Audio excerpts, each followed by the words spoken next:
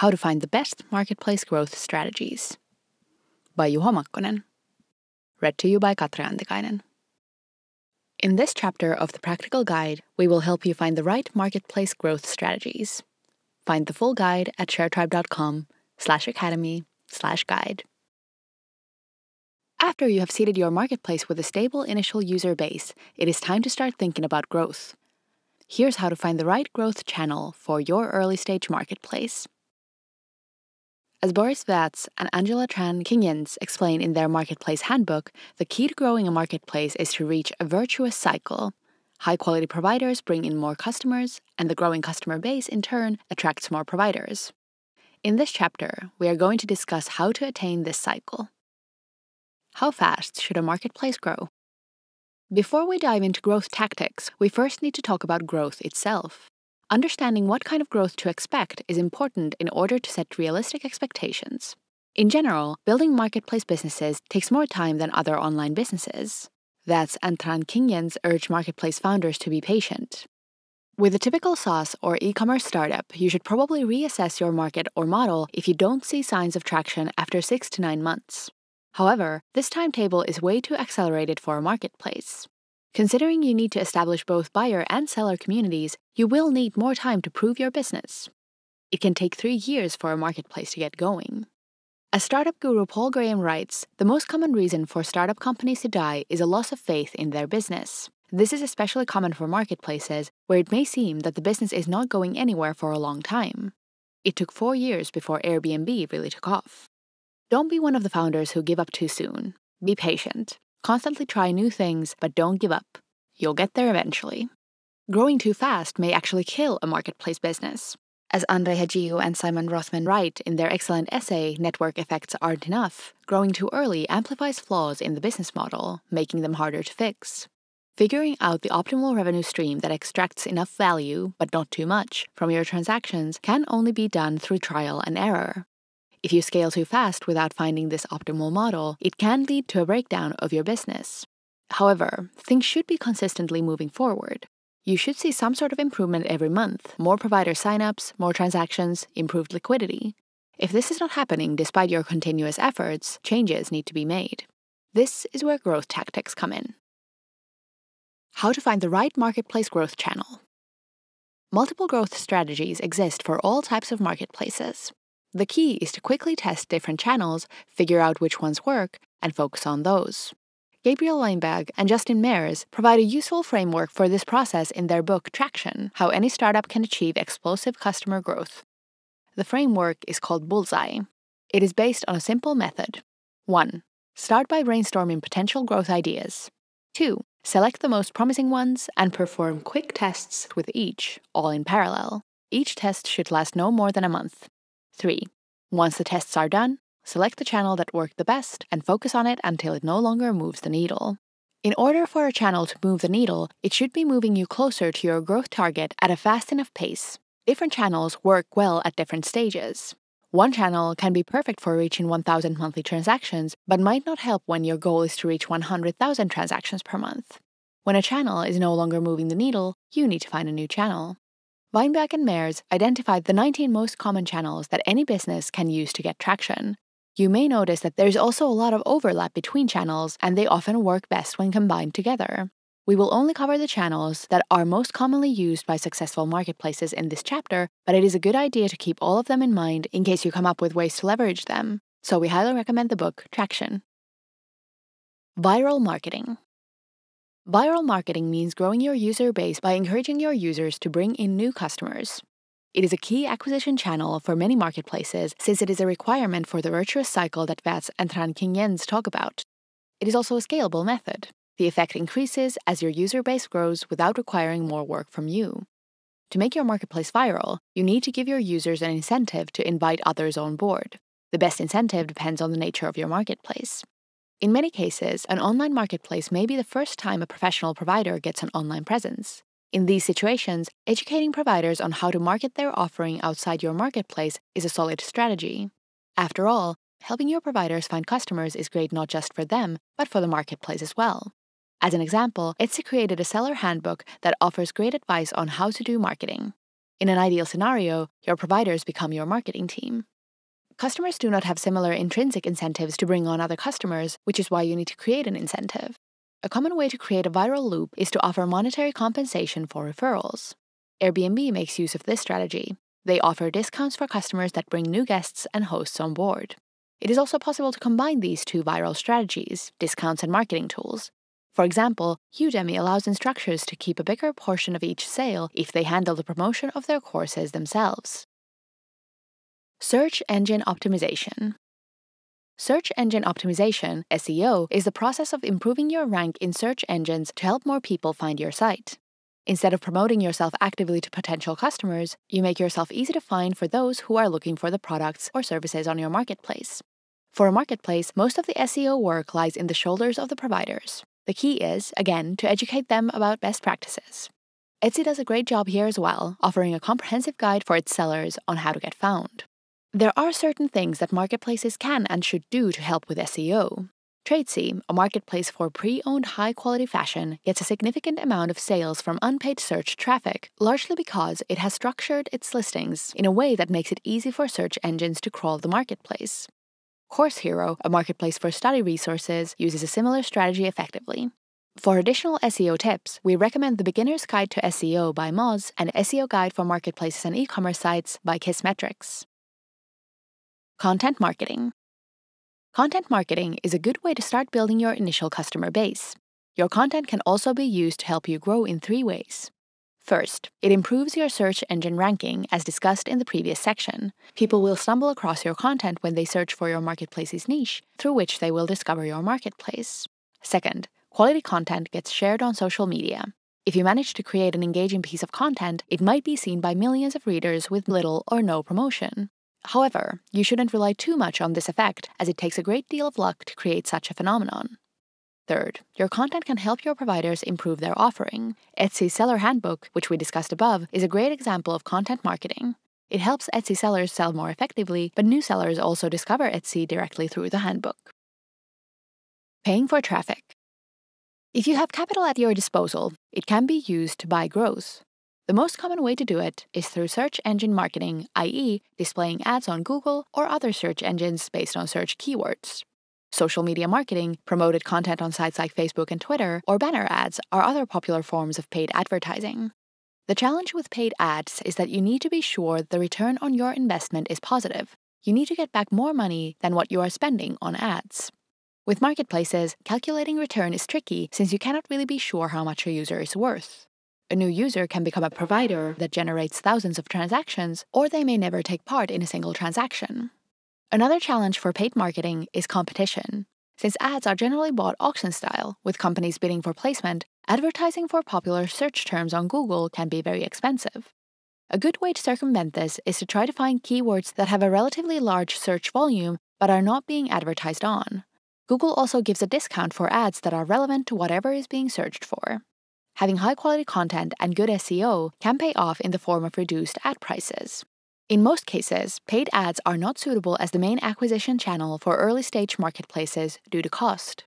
The situation can be different if you have deep pockets and are in a winner takes it all market where you need to grab market share before your competitors. Uber executed this strategy effectively in many cities, but only after they had perfected their base offering. However, this does not mean early stage marketplaces should not take advantage of paid ads. They can be very useful in testing out marketing angles. For instance, if you believe you should focus your SEO and content marketing efforts on people who perform certain types of queries in Google, running a Google Ads campaign is an easy way to test whether you should pay for the top position for certain keywords. You will see quickly how large the search volume is, how much ads for them cost, and how large a portion of people who click on your ad actually end up making a purchase. Email marketing. There's a statistic that says, on average, attracting new customers costs five times as much as keeping an existing customer. Marketplaces generally spend too much time acquiring new users instead of activating existing ones. In the previous chapter, we discussed the importance of building an email list early on. This work should be continued after you launch. Email is the most efficient way to reach existing users and activate them on your marketplace. The list should be used actively to send your users offers, lists of interesting new products or services on your marketplace, useful articles from your blog, and so on. Etsy has done a great job of keeping people who make their first purchase active on their site. A whopping 78% of its sales in 2014 came from repeat customers. This is quite likely a key reason for why Etsy requires every buyer to become a user. A good way to use the email list is to tell stories of your successful customers. This strategy of creating social proof is vital in creating the virtuous cycle. As soon as someone is making a profit on your marketplace, others will become interested and more active, increasing the number of success stories. Udemy used this strategy heavily as soon as their instructors started making serious money. Community building. Many successful modern marketplaces succeed by building active communities around their offering. Airbnb specifically refers to itself as a community marketplace. Meanwhile, Etsy proclaims to be more than a marketplace, we're a community. Both platforms want their users to engage with each other and spend time on the site, even when they don't intend on buying anything. This is often a smart move since it builds retention. If your users feel like they are a part of a community, they are less likely to jump ship to other marketplaces. Engineering as marketing. Sometimes the best way to grow is to build new growth oriented functionality into your product. The term growth hacker, which is often used to describe digital marketers in general, was originally coined by growth specialist Andrew Chen, former head of growth at Uber, to mean a marketer that uses technical skills to foster growth.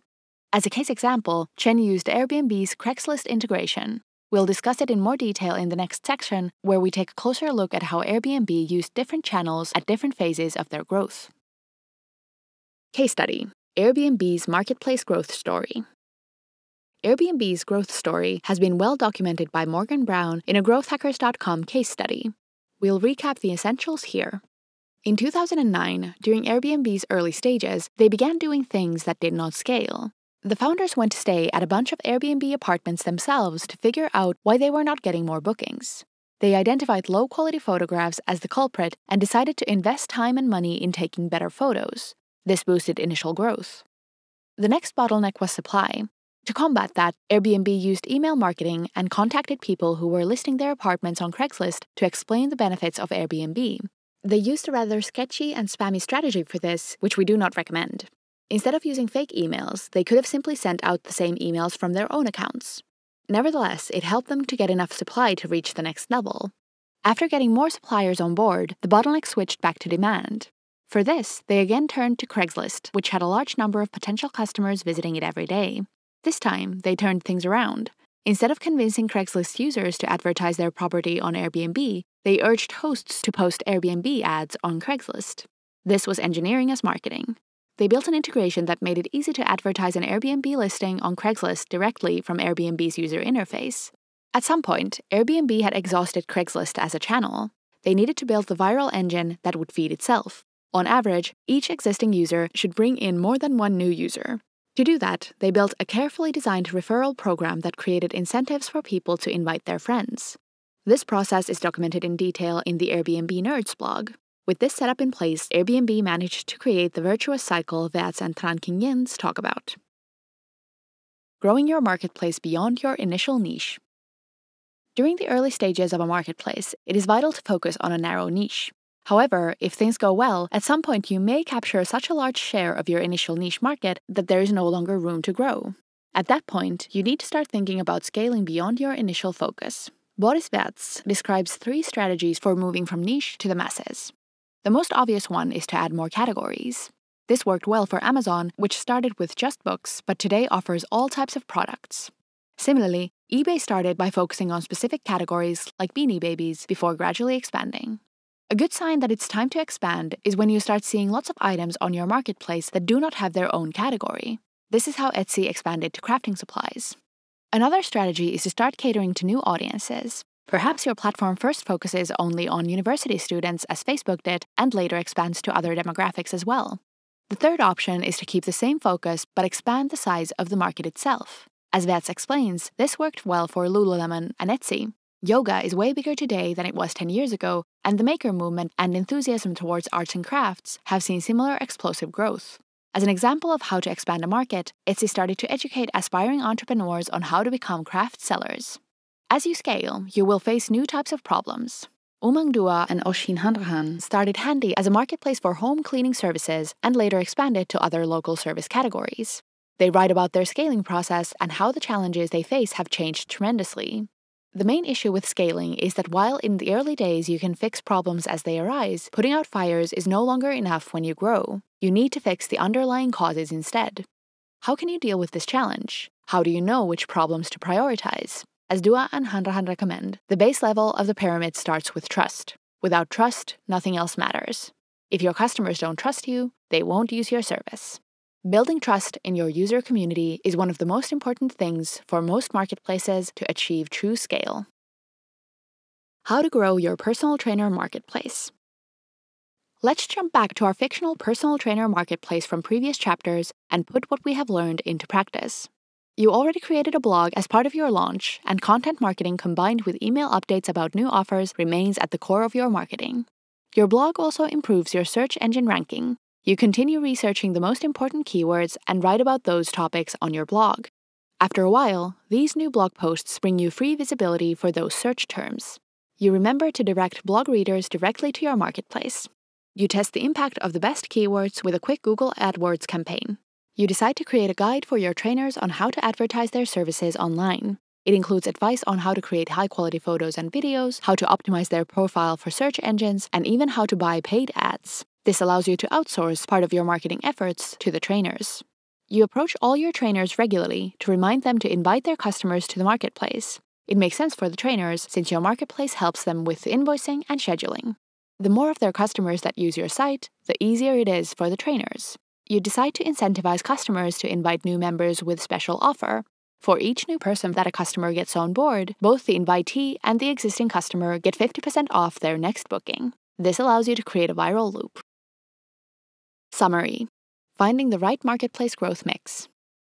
In this chapter, we discussed different strategies for growing your marketplace. While growth is important, marketplaces need more time to grow than traditional online businesses. You need to be patient and grow slowly in the beginning in order to validate and optimize your business. When you are ready to scale, you should test different growth channels to find the one that works best for that growth stage and focus on it until it is exhausted it might make sense to use multiple channels in parallel as they can complement each other effectively. The most common marketplace growth channels are viral marketing, search engine optimization, content marketing, paid advertising, email marketing, community building, and engineering as marketing. At a certain stage, it may be time to scale beyond your initial niche. This can be done by expanding your categories, your audience demographic, or the market itself.